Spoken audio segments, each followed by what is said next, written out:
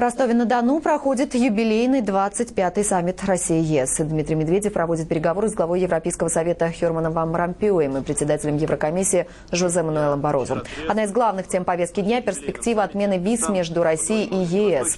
Планируют также обсудить новые базовые документы о сотрудничестве, вопросы евробезопасности и противодействия глобальному экономическому кризису.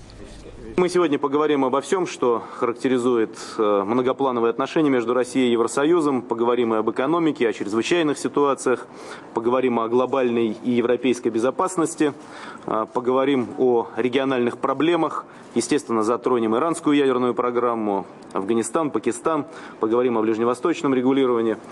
Поэтому надеюсь, что сегодняшняя встреча, хоть она и юбилейная, она не будет э, сильно отличаться от других встреч, э, потому как это всегда рабочие контакты, э, контакты, которые должны продвигать во всех отношениях сотрудничество между Российской Федерацией и Евросоюзом.